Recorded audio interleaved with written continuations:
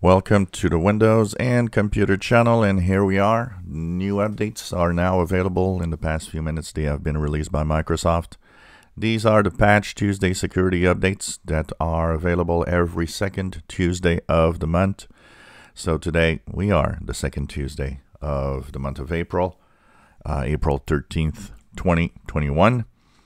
So a cumulative update. These are, of course, security fixes, and that's going to be the interesting part that we'll look at a little later when we have all the blog post information as to what uh, type of update and what is the importance of all the updates that have been released with uh, this uh, cumulative update. So if you're on 1909, uh, and if you're on version 2004, if you're on, of course, the October 2020 update, the version 20H2.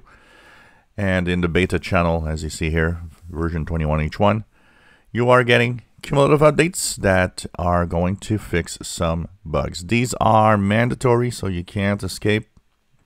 They have to be installed, and it is important to install them if you want to stay safe on the internet as they fix a lot of security flaws.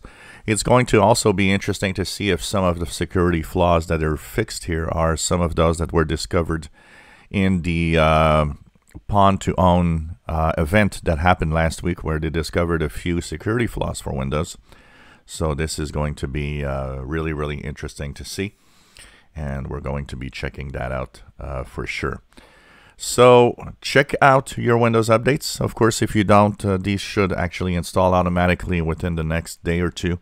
And uh, we'll have a more, um, a bigger report basically of all of this as uh, we get into the um, the afternoon and I'll have more details of how many critical and important flaws are in here and what does it affect actually on your PC.